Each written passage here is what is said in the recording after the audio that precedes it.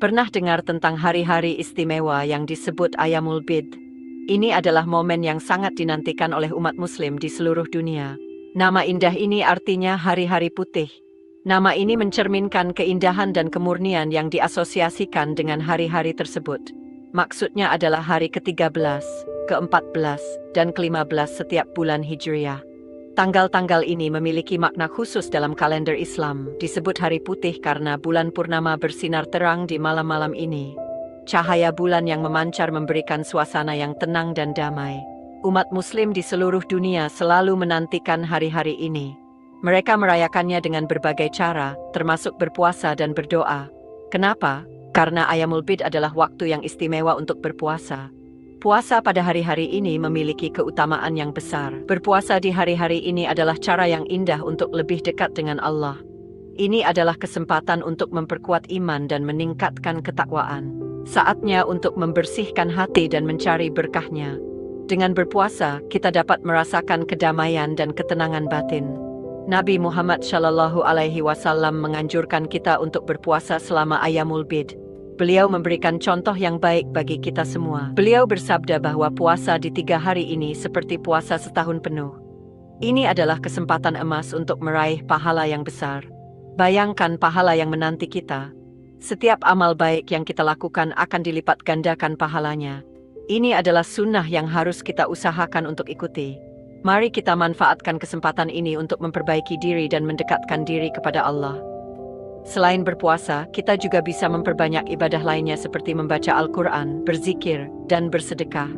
Semua ini akan menambah keberkahan dalam hidup kita. Ayamul Bid juga mengajarkan kita untuk peduli terhadap sesama. Dengan berbagi dan membantu orang lain, kita bisa merasakan kebahagiaan yang sejati. Jadi, mari kita sambut Ayamul Bid dengan hati yang bersih dan niat yang tulus. Semoga Allah menerima semua amal ibadah kita dan memberikan kita pahala yang berlipat ganda. Ingin tahu kapan puasa Ayamul Bid bulan September ini? Catat tanggal-tanggal penting ini di kalender kalian. Selasa 17 September 2024. Ini adalah hari ke-11 bulan Rabiul Awal 1446 Hijriah. Rabu 12 September 2024. Ini adalah hari ke-14 bulan Rabiul Awal 1446 Hijriah. Kamis 15 September 2024. Ini adalah hari ke-15 bulan Rabiul Awal 1446 Hijriah. Ingat, tanggal-tanggal ini berdasarkan kalender Hijriah. Mungkin sedikit berbeda dengan kalender biasa.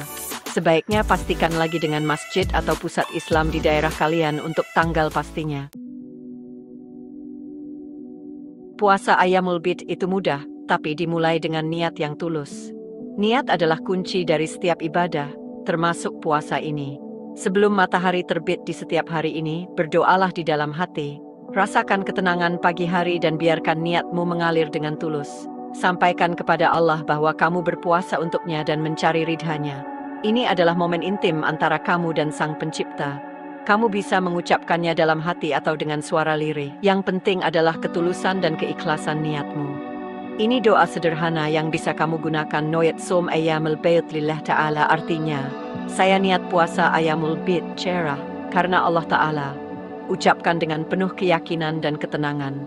Setelah berniat, tahanlah makan dan minum dari terbit fajar hingga terbenam matahari. Ini adalah ujian kesabaran dan keteguhan hati.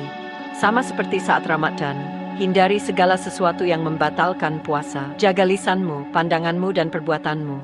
Fokus pada syalat, membaca Al-Quran, dan berbuat baik. Manfaatkan waktu ini untuk mendekatkan diri kepada Allah. Ingat, Allah melihat ketulusan hatimu. Setiap usaha dan niat baikmu tidak akan sia-sia di hadapannya. Semoga puasa ayamul bidmu diterima dan membawa berkah. Tahukah kamu bahwa puasa ayamul bid itu seperti berpuasa setahun penuh? Puasa ini dilakukan pada hari ke-11, 12, dan 15 setiap bulan Hijriyah. Benar, Nabi Muhammad Shallallahu Alaihi Wasallam memberitahu kita bahwa Allah melipat gandakan pahala kita. Puasa ini memiliki keutamaan yang sangat besar di sisi Allah. Untuk setiap perbuatan baik yang kita lakukan, Allah memberi kita sepuluh kali lipat pahalanya. Bayangkan betapa besar ganjaran yang bisa kita peroleh. Bayangkan pahala yang bisa kita dapatkan dengan berpuasa di tiga hari ini. Selain itu, puasa ini juga membantu kita untuk lebih mendekatkan diri kepada Allah dan meningkatkan ketakwaan kita. Ini adalah kesempatan indah untuk menghapus dosa-dosa kita dan semakin dekat dengan Allah. Dengan berpuasa, kita juga belajar untuk menahan diri dan meningkatkan kesabaran. Dalam Al-Quran, Allah berfirman, Barang siapa yang datang dengan membawa kebaikan, maka baginya pahala sepuluh kali lipat amalnya. Ini menunjukkan betapa besar kasih sayang Allah kepada hambanya. Artinya, bahkan amalan kecil selama Ayamul Bid akan mendatangkan pahala yang besar. Jadi, mari kita manfaatkan kesempatan ini untuk memperbanyak amal kebaikan dan mendekatkan diri kepada Allah. Bagian 5 mendekat kepada Allah, kekuatan spiritual puasa. Ayamul Bid bukan hanya menahan lapar dan dahaga, ini adalah waktu untuk memperkuat hubungan kita dengan Allah. Saat berpuasa, kita belajar mengendalikan hawa nafsu.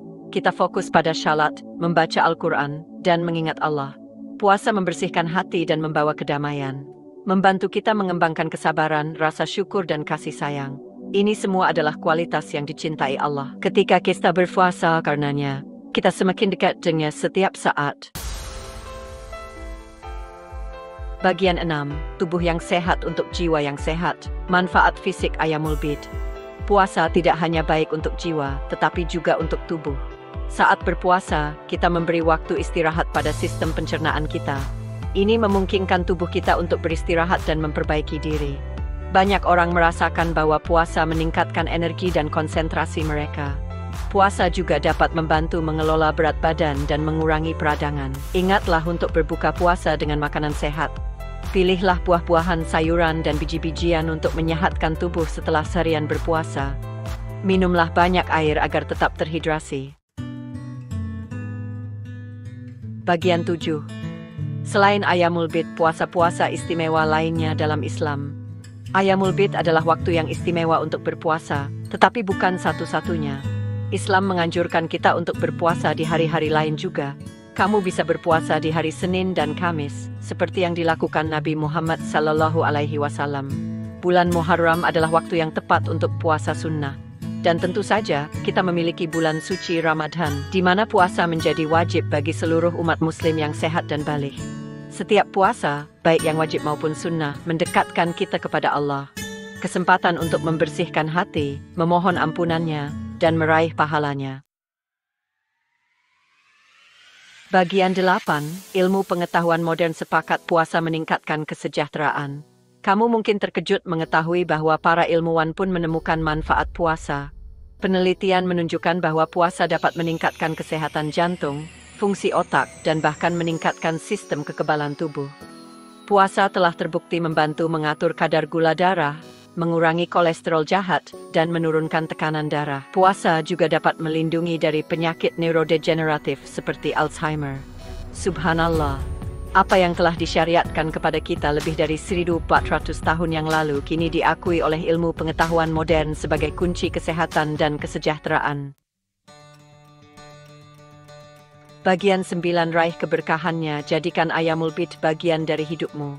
Ayamul bid adalah anugerah dari Allah, kesempatan bagi kita untuk meraih ridhanya, mendekatkan diri kepadanya, dan meningkatkan kesehatan kita. Jangan lewatkan kesempatan ini. Tandai tanggal-tanggal ayamul bid di kalendermu. Niatkan untuk berpuasa dan mohonlah kekuatan kepada Allah untuk menyelesaikan puasa.